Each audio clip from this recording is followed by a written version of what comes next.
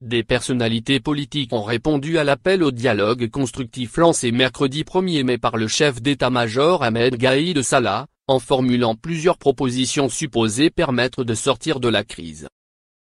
L'ancien ministre sous Bouteflika et président du MSP, Abdelmajid Menazra, a proposé une feuille de route en dix points devant permettre selon lui de fonder une plateforme de dialogue national sérieux, responsable, rassembleur, capable de sortir l'Algérie de sa crise. On retrouve parmi ces propositions le fait de reconnaître la difficulté d'organiser les élections présidentielles le 4 juillet dans les circonstances actuelles, la satisfaction des revendications populaires avec le départ de ceux qui doivent partir et leur remplacement par des figures acceptées, la formation d'une commission indépendante d'organisation des élections, ou encore la désignation par l'opposition d'un candidat consensuel à la présidentielle pour un seul mandat. L'ancien député FFS, avocat et militant des droits de l'homme, Mustapha Bouchachi, a quant à lui proposé la démission du président par intérim Abdelkader Benzala et du Premier ministre Noureddin Bedoui et l'élaboration d'une feuille de route consensuelle consistant en une période de transition dirigée par des hommes et des femmes acceptés par les Algériens.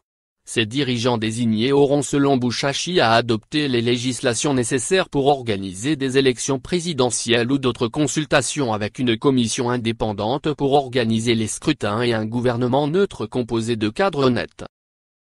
L'ancien chef du gouvernement sous Bouteflika, Ali Benfli, a pour sa part accepté l'idée d'un dialogue, estimant cependant que tout l'enjeu du moment est de permettre au dialogue de s'enclencher en réunissant les conditions les plus favorables à son bon déroulement et à son succès. Pour Benfli, l'Algérie se heurte actuellement à une impasse totale qui consiste une divergence profonde entre le processus actuellement conduit dans le cadre strict, intégral et exclusif de l'article 102 de la Constitution et les demandes légitimes de la révolution démocratique pacifique en marche dans notre pays. Ali Benfli propose en outre que ce dialogue ait lieu en compagnie d'interlocuteurs valables et crédibles, dans un cadre précis et connu ainsi qu'avec des objectifs bien identifiés.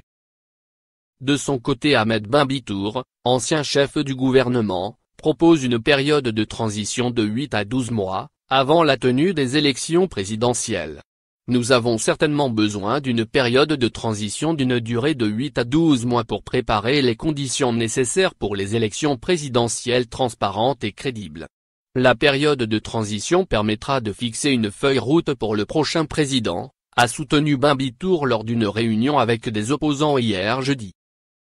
L'ancien chef du gouvernement pense aussi qu'il faut prendre le temps pour réviser la Constitution pour ne pas la changer à chaque fois, au gré des besoins des présidents.